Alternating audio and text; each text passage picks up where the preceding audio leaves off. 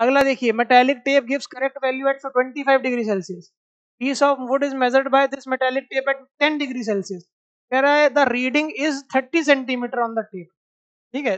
The reading क्या है? 30 centimetre है टेप पे। तो आपसे पूछ रहा है कि the real length of the wooden piece must be अब आप एक चीज़ देखिए।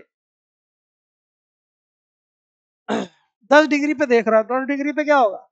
थोड़े से पास पास आ जाएगा। तो जो भी वुडन की जो रीडिंग नाप रहे होंगे, वो ज़्यादा आएगी। है ना? ये क्या आएगी? ज़्यादा आएगी। क्योंकि दस डिग्री है तो ये हो जाएगा क्या कहते हैं? कंप्रेशन कंप्रेशन हो जाएगा तो ये डिवीज़न पास पास आ जाएँगे। डिवीज़न पास पास आ जाएँगे तो जो रीडिंग होगी, वो ज़्यादा आ रही होगी। है ना? रीडिंग क्या हो रही होगी? ज़्यादा आ रही होगी। है ना? और असली रीडिंग किस पे आनी है? पच्चीस डिग्री पे। है ना? असली रीडिंग किस पे आनी है? पच्चीस डिग्री पे। तो ये तीस सेंटीमीटर से क्या आनी चाहिए? कम आनी चाहिए असली रीडिंग क्योंकि दस डिग्री पे तो रीडिंग ज़्यादा आएगी। है ना? क्योंकि ये कंप्रेस हो जाएगा तो डिवीज़न पास पाया तो रीडिंग ज़्यादा देगा। अब टेम्परेचर बढ़ा हो तो क्या दूर दूर वापस चलेगा तो जो थर्टी सेंटीमीटर से कम रीडिंग आएगी तो आंसर क्या हो जाएगा? Less than thirty centimetre